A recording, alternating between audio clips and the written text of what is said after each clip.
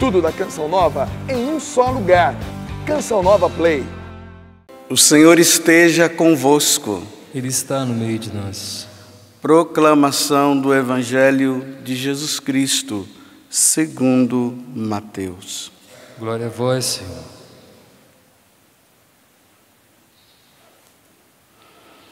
Naquele tempo, alguns fariseus aproximaram-se de Jesus e perguntaram para o tentar: É permitido ao homem despedir sua esposa por qualquer motivo? Jesus respondeu: Nunca lestes que o Criador, desde o início, os fez homem e mulher? E disse: Por isso o homem deixará pai e mãe e se unirá à sua mulher e os dois serão uma só carne? De modo que eles já não são dois, mas uma só carne.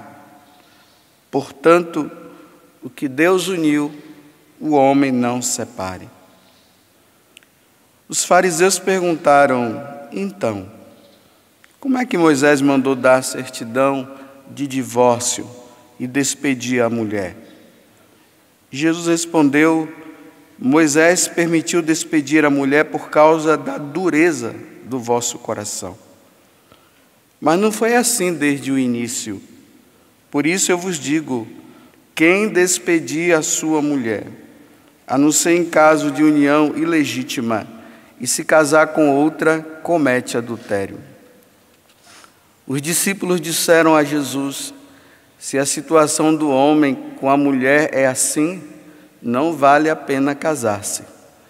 Jesus respondeu: Nem todos são capazes de entender isso, a não ser aqueles a quem é concedido. Com efeito, existem homens incapazes para o casamento, porque nasceram assim.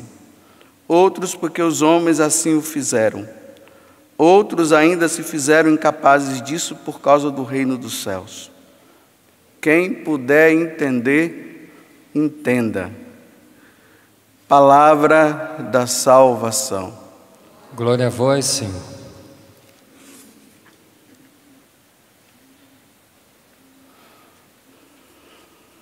Sempre que na liturgia eu me deparo com essa passagem do Evangelho, sempre me vem que nós precisamos rezar pelos casais. Ainda mais que os casais parece que eles não conseguem entender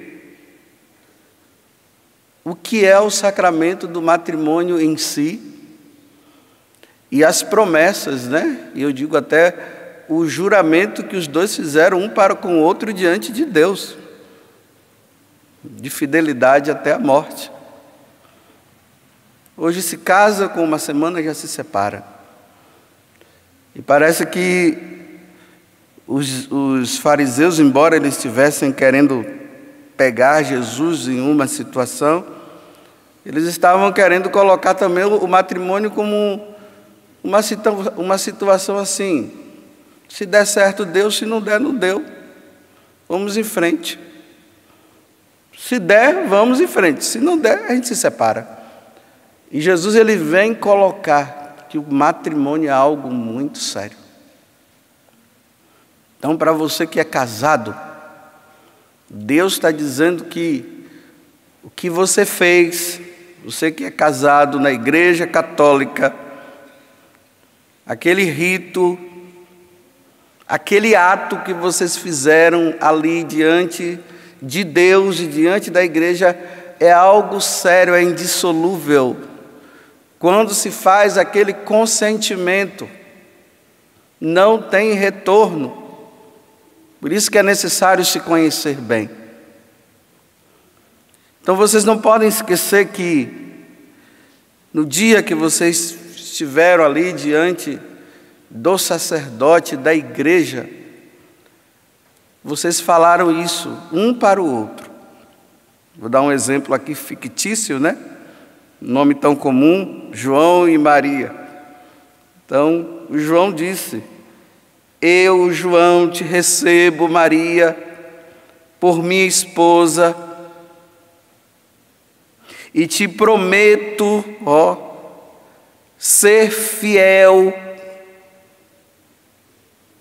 e respeitar-te na alegria e na tristeza. Olha, na alegria, mas também na tristeza, tem as tristezas próprias.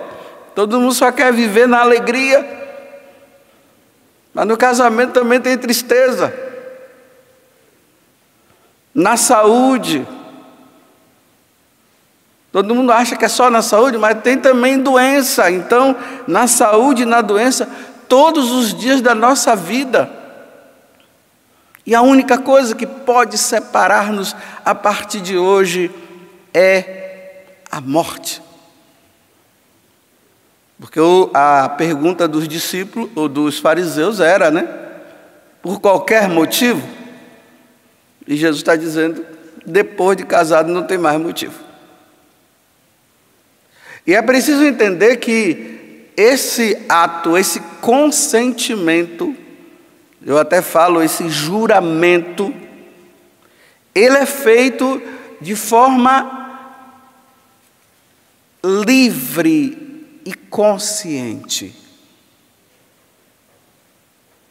É livre e consciente. O catecismo da igreja, ele vai deixar isso muito claro depois se vocês puderem, peguem lá o 1627 e também o 1628 e os seguintes também, que vai falando justamente sobre esta questão.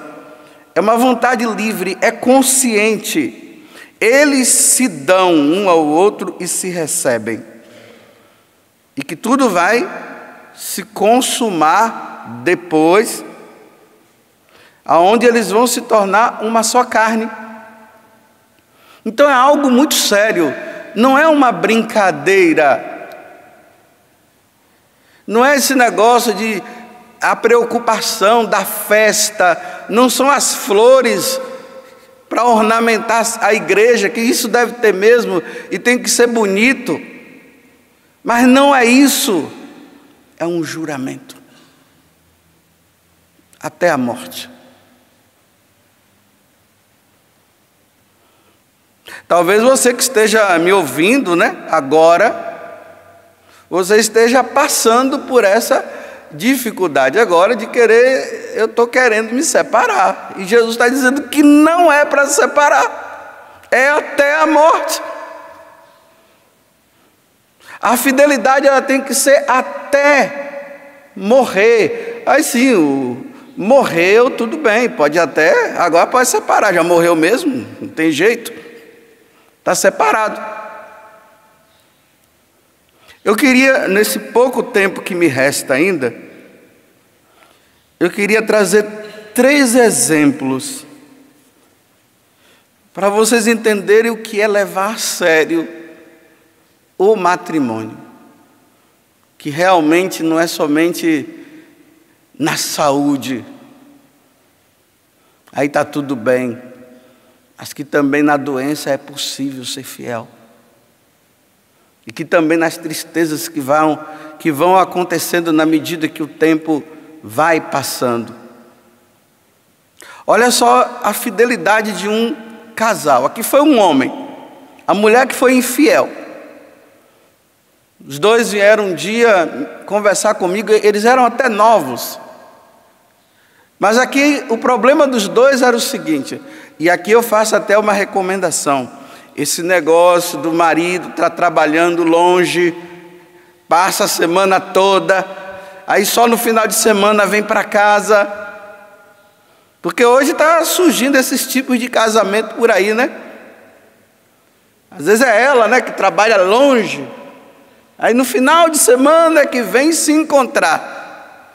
Olha, quando se casa é para ficar junto. Não é para ficar se um vai para lá, outro vem para cá. Isso aqui poderá suscitar carência por parte de um, como por parte de outro. E aí o gavião aparece, viu? O gavião e a sereia aparecem nesse momento, no momento da carência. E esse homem, esse casal jovem, ele trabalhava fora, ela ficava em casa. Aí O gavião foi o vizinho. Começou a se aproximar. O marido não está perto, fica carente. E aí vai se dando as situações. Quando ele chegava no final de semana, ele começou a observar que tinha alguma coisa estranha, ela já não estava mais tratando ele como deveria tratar. Ele meio que desconfiado, perguntava, ela não falava nada, mas estava sempre com o celular na mão. Esse negócio de, casa, de esposo com o celular na mão toda hora, e a esposa também, isso aqui é um problema. Você não casou com o celular. Aí, um dia ele chegou sem avisar para ela e começou a perceber que ela entrou no quarto e lá no celular. Aí foi descobrir que realmente ela estava traindo. E aí vem a situação dramática para você ver o que é levar a sério o matrimônio pessoa estava grávida, na minha frente ali, e ela dizendo que aquele filho não era dela, não, era do, do esposo, era do vizinho lá. E o esposo, levando a sério o que ele tinha assumido, ele disse: Padre, eu eu assumo essa criança. Mas se separar dela eu não quero. Porque ela é minha esposa.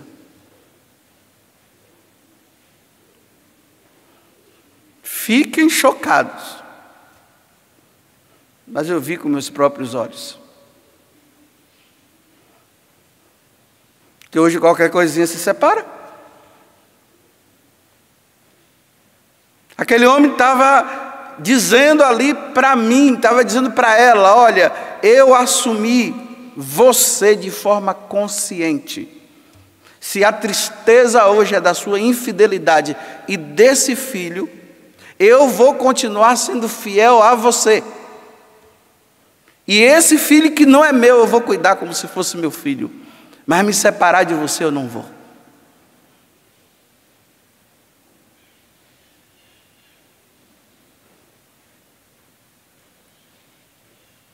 Aí um outro, um médico, agora é na doença.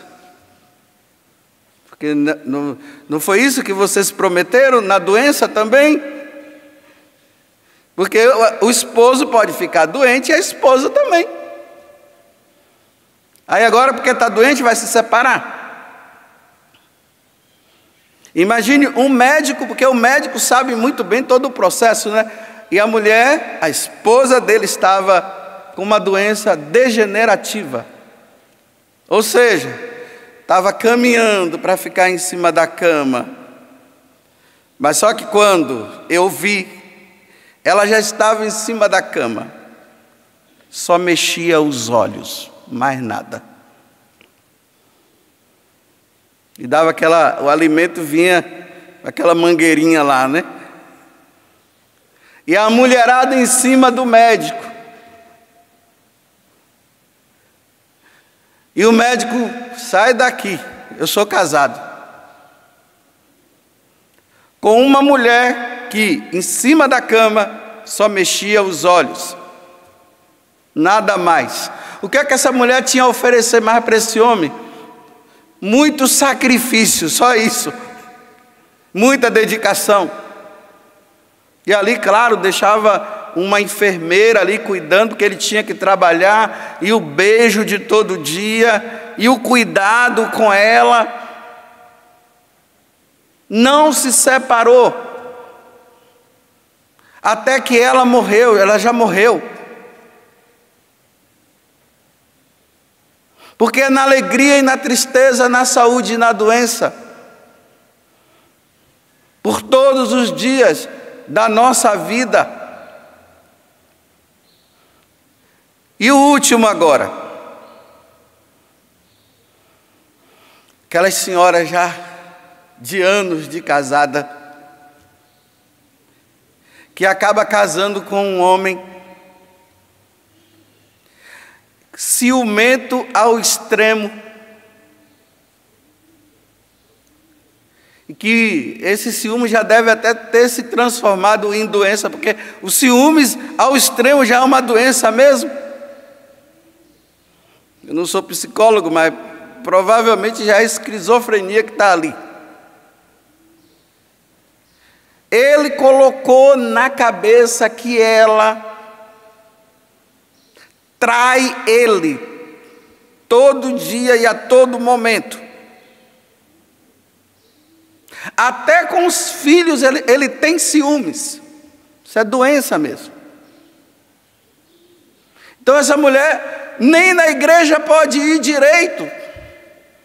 Porque se ela for, está tendo um caso com um padre.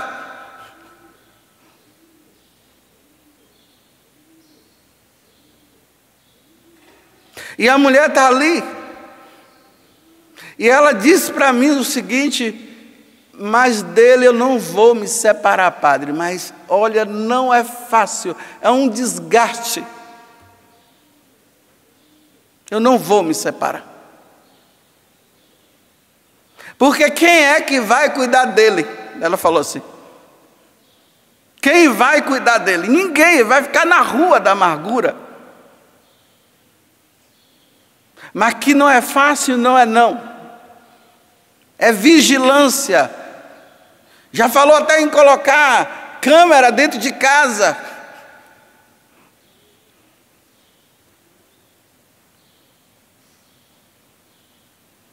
Na alegria e na tristeza. Na saúde e na doença. Até que a morte nos separe. Então, Jesus pode separar num caso desse, porque é por qualquer motivo. Qual é a resposta de Jesus então? Porque hoje tudo é tão fácil, ninguém luta por nada, tudo é, é na boquinha, tudo é na mão, tudo é no controle.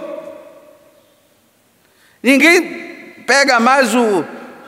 Faz trabalho braçal, né? Hoje trabalho braçal é, é para ficar levantando peso, para ficar tudo fortinho, só isso. Tudo musculoso, mas tudo fracote. É aparência puro, pura, é mentira pura. O cara é fortão, quer ser um Hulk da vida, mas não é Hulk coisa nenhuma.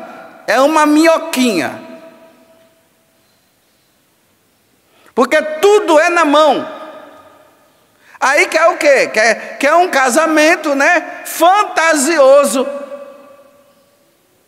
E não existe essa fantasia das novelas e dos romances. Existe a realidade, são temperamentos diferentes. Não é fácil viver com uma pessoa de uma cultura diferente.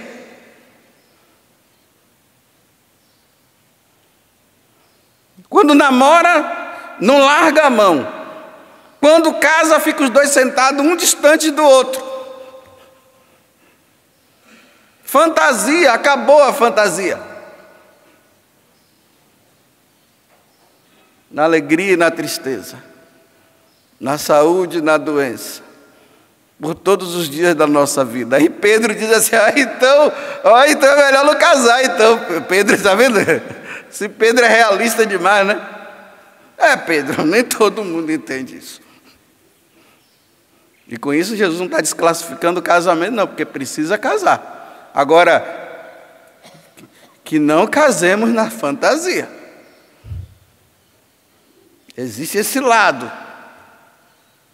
E aqui eu termino, né? Acabou o momento, olha, batendo palmas para esses três casais que eu dei o exemplo aqui agora, ó ali, ó. Tá difícil, padre. Mas eu não me separo.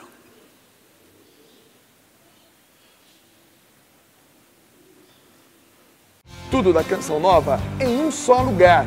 Canção Nova Play.